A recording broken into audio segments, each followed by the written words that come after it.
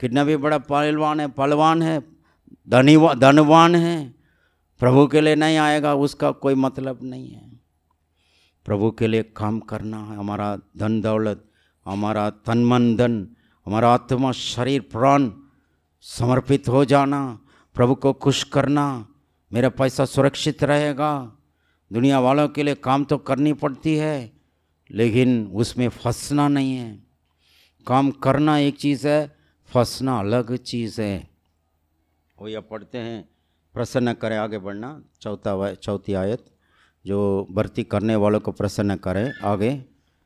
अपने आप को संसार के कामों में नहीं फंसाता। नहीं फंसाता हम्म, बस ये ना हम्म, नहीं फंसाना फंस न जाना दुनिया की मोह माया में और दुनिया के काम में। वहाँ पर युद्ध के मैदान में लड़ने वाले फ़ोन आ गया, अरे, आ जाओ घर। घर जाएँगे, आने देंगे बाद में। हाँ?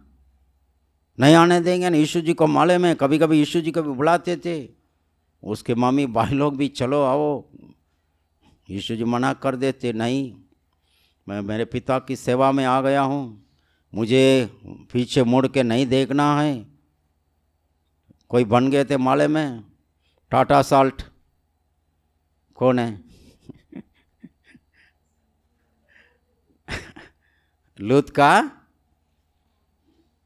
लुत का मिसेस लुत क्या बन गए?